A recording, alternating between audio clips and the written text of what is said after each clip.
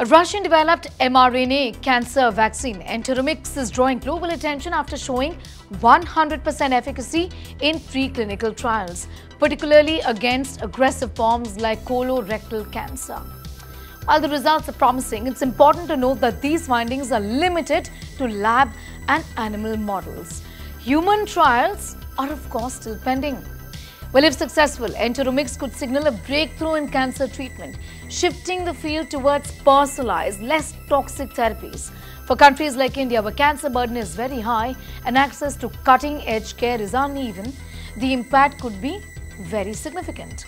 Now, unlike traditional cancer vaccines, which have often been generic in design and limited in effectiveness, Enteromix is a little different. There are two major innovations. One, the personalized approach.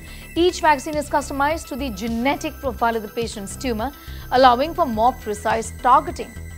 Second, the mRNA technology.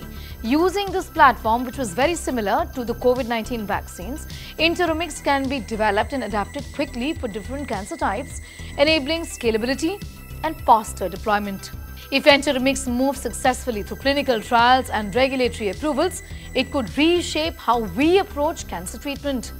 Globally, a move away from broad, often toxic therapies like chemotherapy to safer, personalized immunotherapies could improve patient quality of life and outcomes. What is in it for us Indians?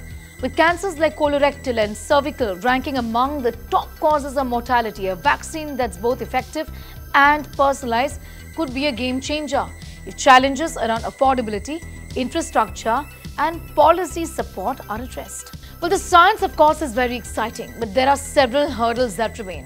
First of all, preclinical success, 100% efficacy, does not guarantee real-world efficacy. Human trials are absolutely imperative.